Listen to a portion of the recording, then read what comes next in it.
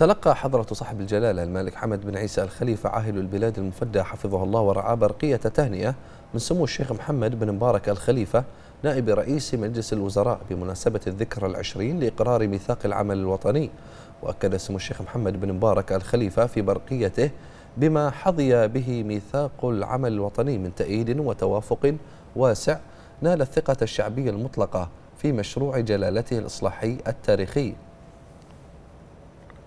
وأرسى دعائم الحكم الدستوري والدولة الحديثة في مملكة البحرين كما أشاد سموه بهذه المناسبة المجيدة بما حققته وتحققه مملكة البحرين من إنجازات في شتى المجالات مؤكدة تلاقي رؤية جلالته والإرادة الشعبية للسير نحو تحقيق المزيد من الإنجازات والمكتسبات في ظل قيادة جلالته الحكيمة.